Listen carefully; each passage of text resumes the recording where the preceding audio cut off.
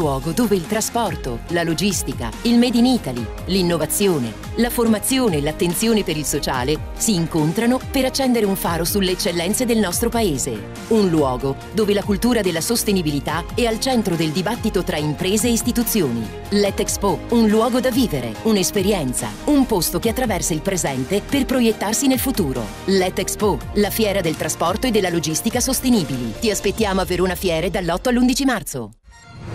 Un anno fa l'invasione russa dell'Ucraina, Meloni Putin ha fallito, Zelensky nel 2023 la vittoria, il mondo con il fiato sospeso sul nucleare, Stati Uniti non vogliamo il conflitto, la Cina propone un piano di pace. È morto stamane Maurizio Costanzo, il popolare giornalista, conduttore televisivo, autore e sceneggiatore, aveva 84 anni. Il ministro Musumeci a tutto campo, il piano del mare sarà il motore di crescita del sud per il paese e sul lavoro rivedere l'apprendistato un meccanico ha la stessa dignità di un primario. 2022 positivo per i porti di Roma e del Lazio, a Civitavecchia cresce del 40% la movimentazione di auto e del 20% il traffico passeggeri su traghetti. Prosegue la crescita del mercato di rimorchi e semirimorchi, a gennaio più 9,1% delle immatricolazioni, ma stagni necessari nuovi incentivi. Allarme siccità, riunione d'emergenza a Palazzo Chigi il primo marzo, acqua a rischio per 3,5 milioni di italiani, il ministro Pichetto in vista possibili razionamenti. Мною принято решение о проведении специальной военной операции.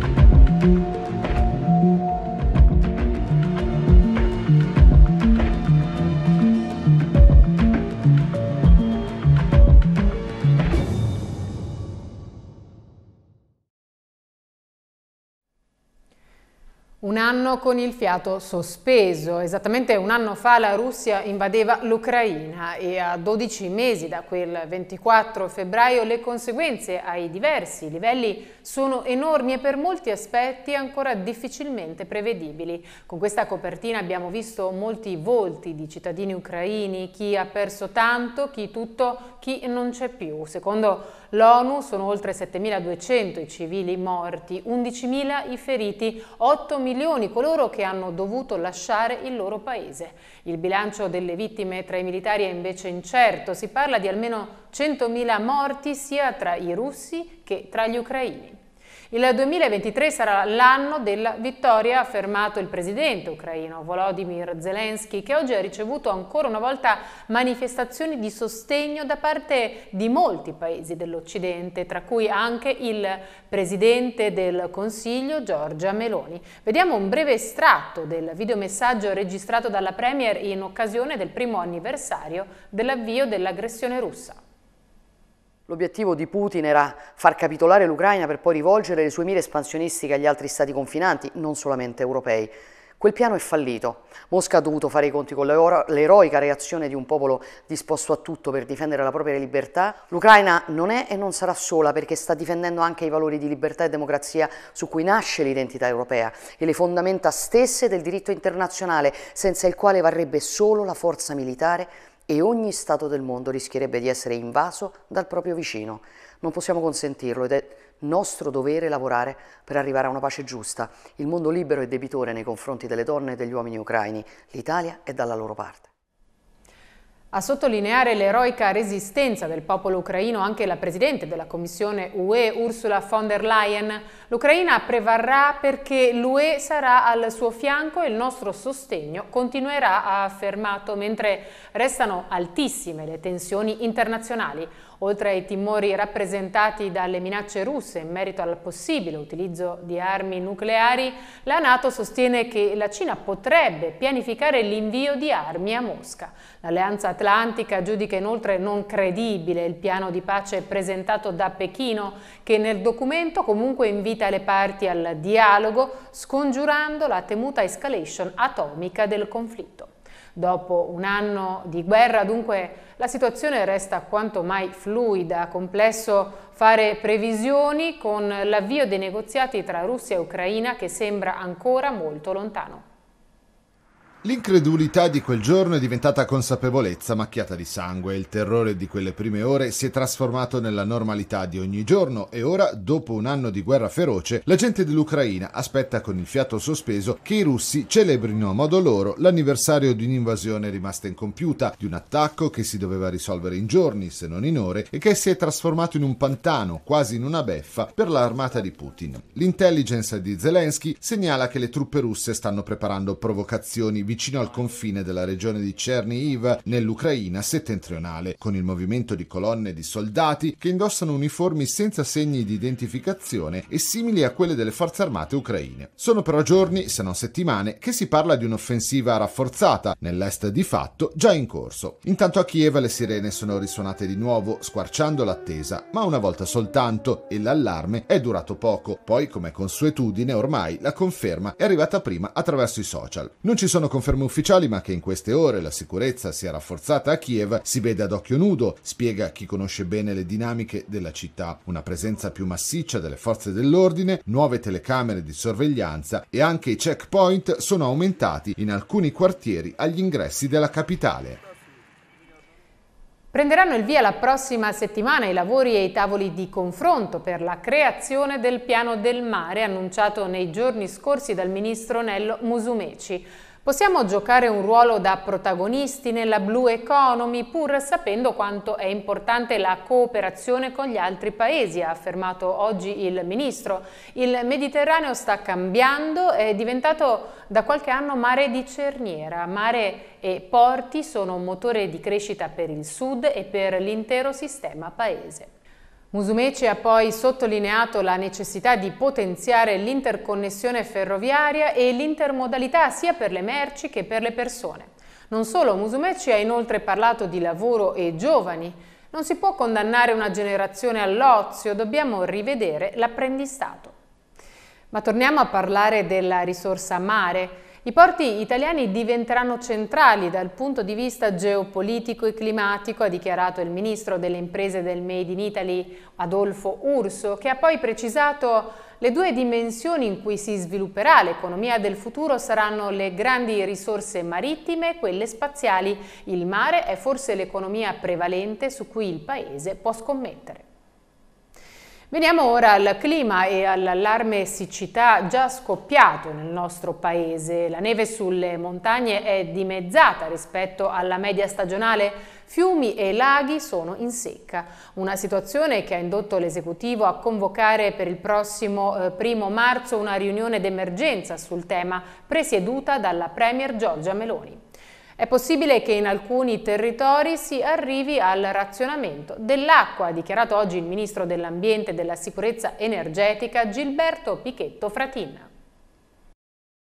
3 milioni e mezzo di italiani rischiano di avere l'acqua razionata dai rubinetti. L'allarme lo ha lanciato nelle scorse ore l'AMBI, l'Associazione Nazionale dei Consorzi di Bacino. Il ministro dell'Ambiente Gilberto Picchetto concorda. Il problema della siccità è grave, dice. Il primo marzo si terrà un tavolo sull'emergenza idrica a Palazzo Chigi, presieduto dalla Premier Giorgia Meloni. Secondo il Consiglio nazionale delle ricerche, una percentuale fra il 6% ed il 15% della popolazione italiana vive ormai in territori esposti ad una siccità severa ed estrema. L'AMBI diffonde un bollettino sconfortante della crisi, neve sulle Alpi che si scioglie, laghi del nord al minimo, poi in sofferenza, ma anche fiumi del centro che si seccano. In compenso, al sud gli invasi sono pieni e bisogna svuotarli in mare. Per i consorzi di bacino serve tappare subito i buchi degli acquedotti, perdono il 40% dell'acqua, e costruire nuovi laghi per accumulare l'acqua piovana. Ad oggi ne raccogliamo solo l'11%. La gravità della situazione Operazione Acqua ha inoltre finito per far passare in secondo piano l'annuncio al quale il governo teneva di più. Il Ministero dell'Ambiente ha inviato a Bruxelles la sua proposta di decreto sulle comunità energetiche. Dopo l'ok della Commissione europea, il provvedimento entrerà in vigore. Le comunità energetiche sono gruppi di persone, imprese, cooperative, enti locali, associazioni ed enti religiosi che si uniscono per autoprodurre e autoconsumare energia elettrica da fonti rinnovabili.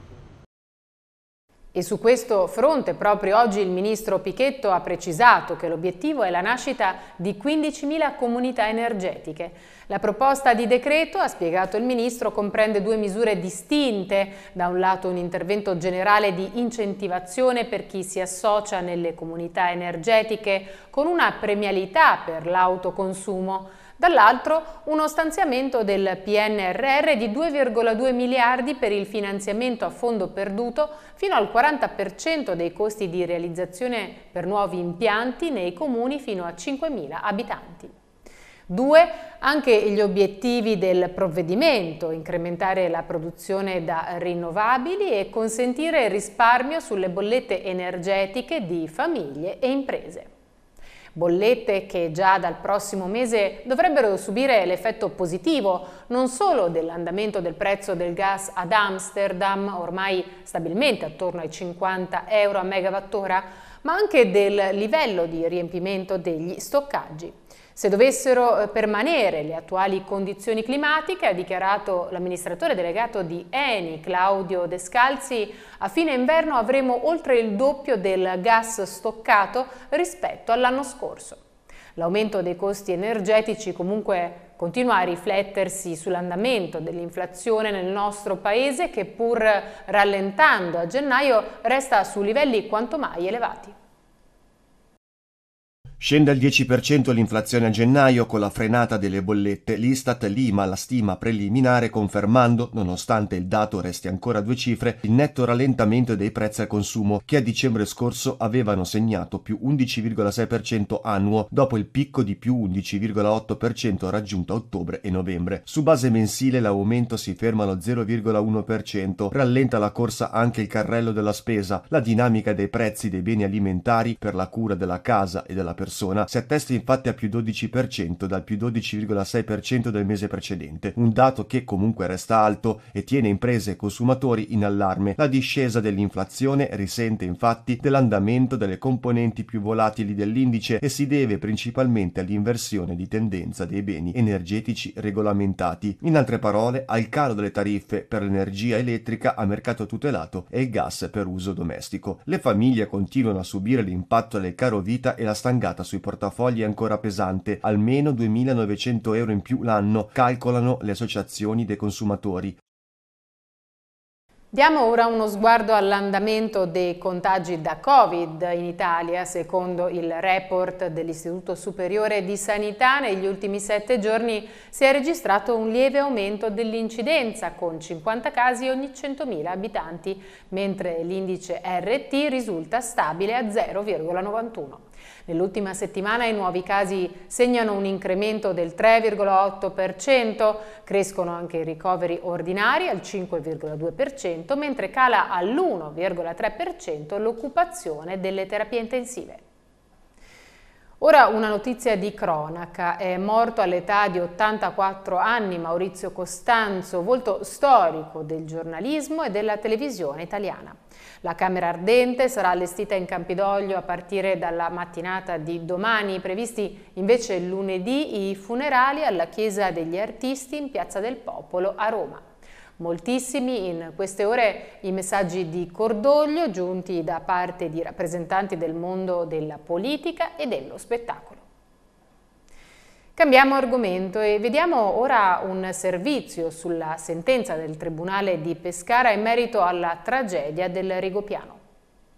Solo cinque condanne, di cui tre per responsabilità legate alla sicurezza stradale e all'agibilità del resort, e 25 assoluzioni per la tragedia dell'hotel Rigopiano, travolto e distrutto il 18 gennaio del 2017 da una valanga, evento in cui morirono 29 persone fra ospiti e dipendenti. Questo è il quadro della sentenza pronunciata nelle scorse ore dal GUP del Tribunale di Pescara Gianluca Sarandrea, che in 12 minuti di lettura smonta l'inchiesta della locale procura durata 22 mesi, fa sparire il reato di disastro colposo e consegna ai parenti delle vittime e ai superstiti del disastro un verdetto ritenuto inaccettabile dai familiari che scatena la rabbia e il caos in aula. Una sentenza che non riesce a definire il modello di amministratore pubblico che aveva il dovere di prevedere la valanga ed evitare la tragedia, come aveva auspicato il PM Giuseppe Bellelli. Alla fine risultano 10 anni e 4 mesi di condanne complessive rispetto ai 151 anni e mezzo chiesti dalla Procura. Nessuna responsabilità è stata accertata giustificata per la mancata definizione della carta di localizzazione del pericolo da valanga. Veemente e viscerale la reazione dei parenti delle vittime e superstiti alla lettura della sentenza. Alcuni cercano di avvicinare il giudice probabilmente per tentare di aggredirlo, tra le urla che si levano in aria e il pronto intervento delle forze dell'ordine per placare gli animi e bloccare i più incattiviti. Restano così più di un dubbio e molte ombre sul processo, come rilevato da Rossella del Rosso, sorella di Roberto, proprietario dell'hotel Rigopiano, morto sotto la valanga, e dall'avvocato Reboa che assiste alcuni familiari delle vittime.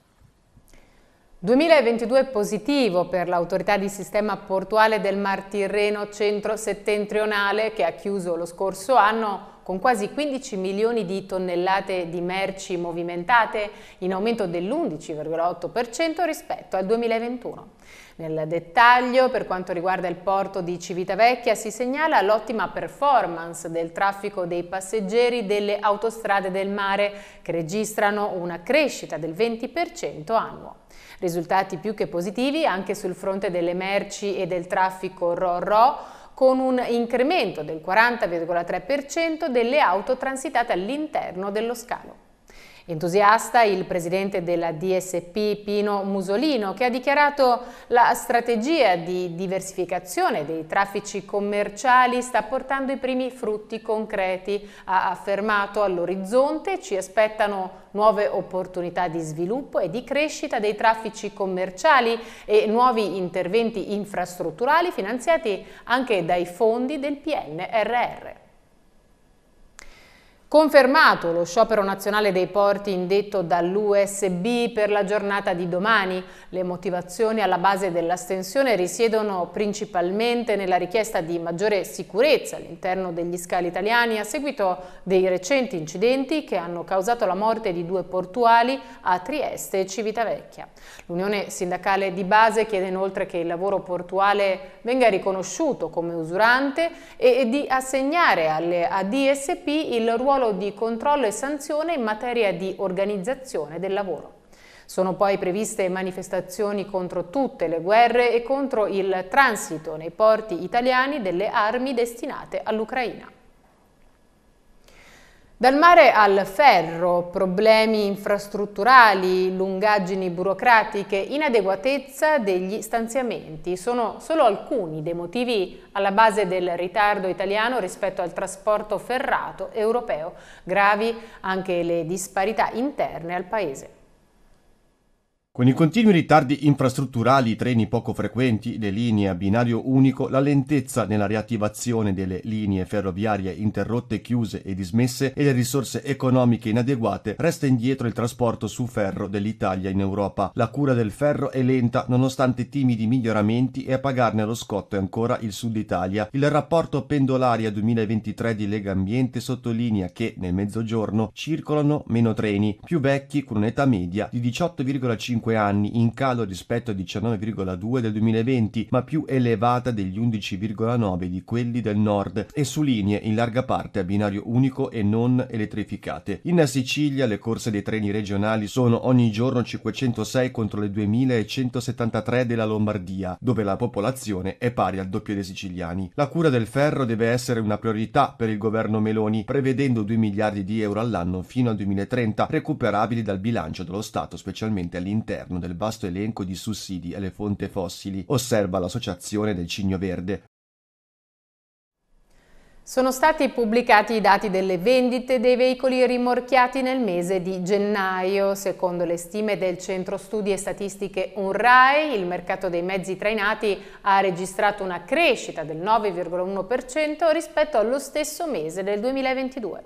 Secondo Michele Mastagni, coordinatore del gruppo rimorchi, semirimorchi e allestimenti dell'associazione, questi dati confermano il positivo trend registrato nel 2022, prevedendo inoltre il ritorno alla normalità dei tempi di consegna a partire dalla seconda metà dell'anno in corso.